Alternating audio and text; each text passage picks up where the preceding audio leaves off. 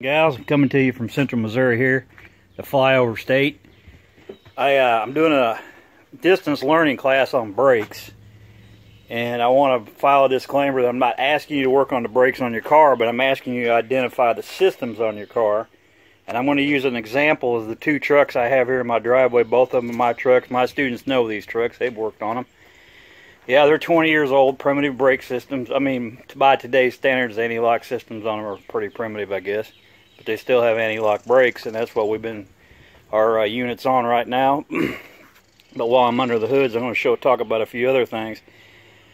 But we were talking about the codes, and a lot of times I've uh, gone to, called a parts house and said, I need a set of brakes for this truck, and they said, well, there's three possible options. Which option do you have?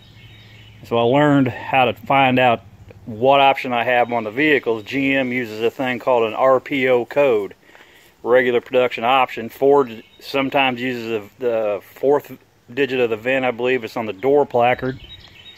Chrysler's probably got a door placard. Some cars use them in different areas, different ways of telling. GM uses a, the RPO code. That's what I got in my driveway, so I thought I'd show you what I was talking about.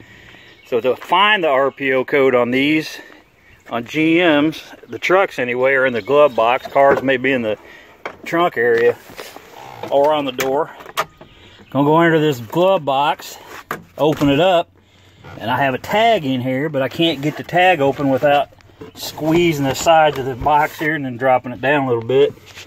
And there it is. This is an RPO code. That's a regular production option code. And it's to tell me what brakes I have. And not only that, it would also tell me what uh, rear axle I have and whether it's a limited slip or not. It tells you the paint code, tells you quite a few other codes. But you can see this is the two-wheel drive half-ton truck, my, my short bed that I drive. And I'll go to my bigger truck here in a second, but this is the codes that we're going to be using. So the information, there's a lot of information right there about this vehicle if you know how to decode it.